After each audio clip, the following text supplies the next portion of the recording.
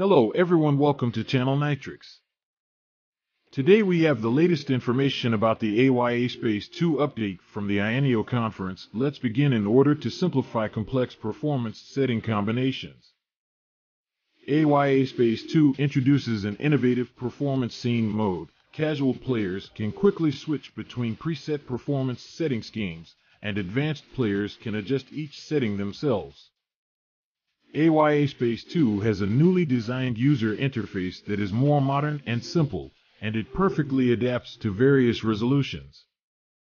The distribution of function settings is more intuitive and reasonable, and more elegant interactive animations are added to greatly improve the user experience.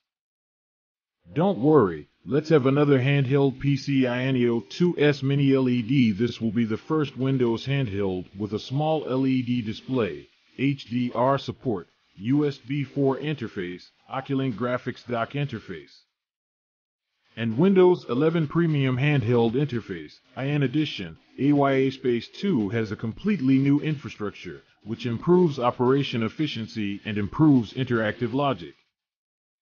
All interfaces support touchscreen and process operations and are fully adapted to a variety of mainstream resolutions. Even when you use an external monitor, you're getting a consistent experience. As an important part of AYA Space, the quick setup window has a completely new user interface, interactive logic, and basic structure. It can now complete almost all settings from portable to system functions in a seamless manner, i in the early days of AYANEO's founding. Uncle Tail made it clear that AYANEO would combine hardware and software in its deployment plan.